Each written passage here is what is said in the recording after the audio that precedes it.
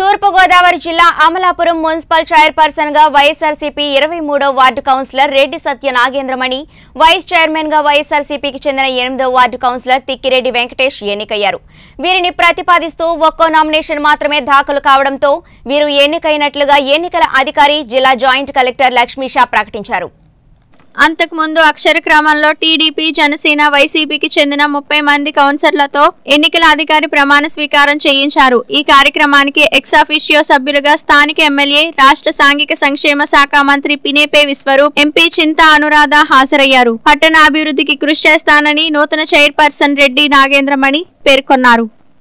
ఇది form B ఏదైతే వచ్చింది. దీని ద్వారా ప్రతి స్టేట్ గ్రూప్ నుంచి కూడా అప్లైన్మెంట్స్ నాకు వచ్చి ఉన్నాయి. అదే ప్రకారంగా ఇక్కడ చూస్తే చైర్పర్సన్ కోసం ప్రపోజ్ చేసిన పేరు రెడ్డి సత్యనాగేంద్రమణి వైఫ్ ఆఫ్ సత్య నా- సత్యనారాయణ సో వైఎస్ఆర్సిపి కాంగ్రెస్ వాటి నుంచి ప్రపోజ్ చేయడం జరిగింది.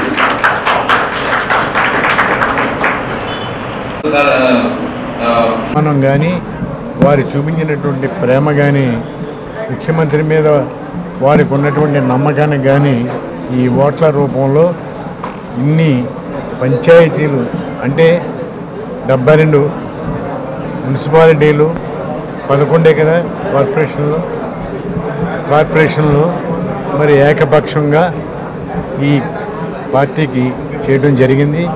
దీన్ని బట్టి మరి ముఖ్యమంత్రి గారిలో మరింత మార్పు వచ్చి మరింత పబ్లిక్కి ఉపకారం చేసేటటువంటి పనులు చేస్తారనేది మేమందరం నమ్ముతున్నాం మనం అందరం నమ్ముతున్నాం.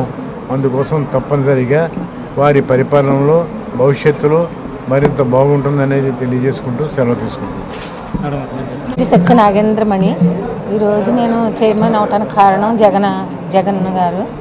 ఆయన పెట్టిన పథకాలు వాటి వల్ల మెజార్టీతో ప్రజలు మంచిదనం వల్ల మమ్మల్ని మెజార్టీతో నెగ్గించారు. శ్రీ శ్రీ విశ్వరూప్ మంత్రివర్య విశ్వరూప్ గారు ఆయన సహాయ సహకారాలతో అమలాపురం అభివృద్ధికి కృషి చేస్తాం.